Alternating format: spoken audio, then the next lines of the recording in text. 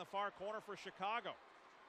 Moving behind the net, he lost the handle. Far hash marks it comes to White to the left point. Murphy, he held it right on the line, but then he's pressured by Friesen again. This time it's held by White, who came back to help.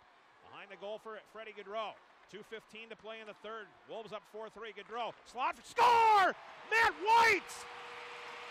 We're tied again at 1748. Matt White uncorks one from between the circles into the net. His fifth of the year, and the Admirals are tied it again at four.